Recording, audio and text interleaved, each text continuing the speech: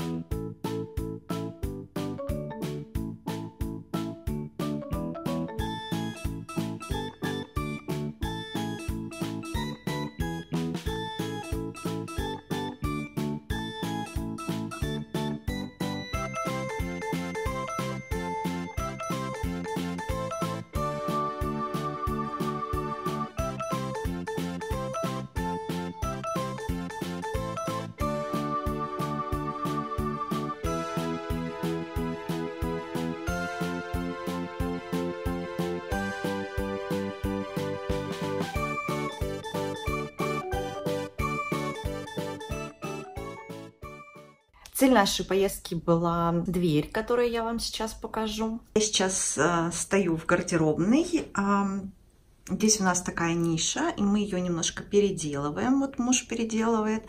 И мы, в общем, ездили за всякими материалами сюда, в том числе за вот этой дверью. Здесь я глажу, тут всякие шалобушки мужа у меня. И то, что нужно погладить, я складываю вот сюда, в эту корзиночку. Кстати, вот так вот я выгляжу дома. Это у меня такой трикотажное платьице. Кстати, оно было куплено для того, чтобы я ходила в нем, когда была беременная. И оно, видите, такое вытянутое.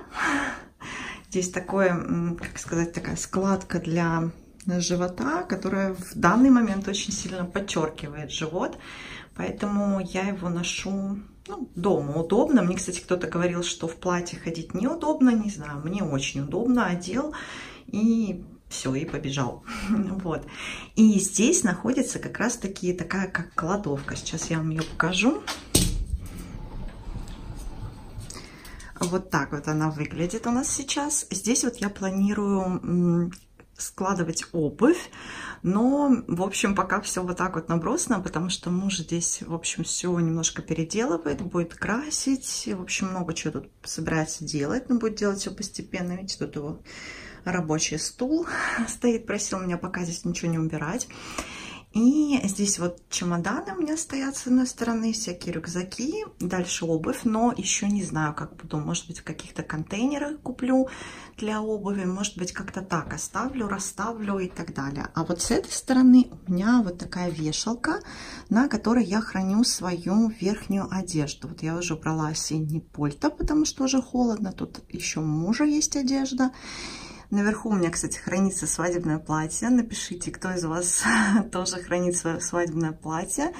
Я храню. И там вот еще у меня пледы. Ну, такие они старенькие, ну, в общем, пока их не выбрасываю. Здесь еще тоже вот такая полка, тут тоже всякого набросано. В общем, нужно все будет убирать. И здесь вот такой тоже с полочками, но может будет переделывать. Там вот, кстати, коробка с елочными игрушками у меня из-под подгузников. Видите, тут плинтуса. В общем, может, тут все будет красиво мне все сделает. будет красота. Надо будет потом все убрать здесь. Но сейчас у меня, к сожалению, немножко приболел старший сыночек, поэтому ничем этим я не занимаюсь пока что. Вот. Ну и плюс муж тут много чего не доделал, ведь он тут еще пилил что-то. В общем, вот. А я глажу, получается, вот здесь, в коридорчике. Вот моя парогенератор мой.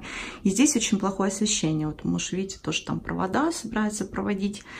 Вот. И сюда я хотела купить какую-нибудь брашку, чтобы ее включать, когда я глажу. Но получается, что я ничего не нашла такого симпатичного, чтобы сюда повесить как-то, чтобы сочеталось с, со всем, в общем, что у нас есть. И ну, как бы с интерьером, чтобы сочеталось, но ничего не нашла. И, кстати, вот в этих чехлах у меня находится зимняя одежда, то есть э, там зимнее пальто. И вот эти чехлы я покупала в магазине все на местах. Очень-очень давно. Вот, вот такие. Но классные чехлы, мне очень нравятся. Особенно вот этот, он для шубы. И он здесь вот с такой штучкой твердой, очень прикольный. Ну, плюс там от моли на всякий случай, от жучков всяких. И также в ванную комнату я приобрела вот такой дозатор. Он стоил где-то 350 рублей а, для жидкого мыла, потому что у меня все муж и дети любят именно пользоваться жидким мылом.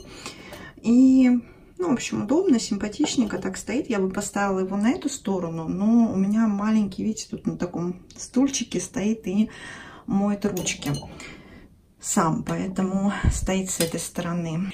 И также мы деткам купили вот такие две лампочки. Они стоили где-то около 2000, 1900 с чем-то.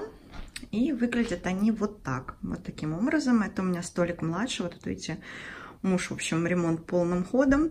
И второй такой же у меня для старшего сыночка тоже приобрели неплохие лампы.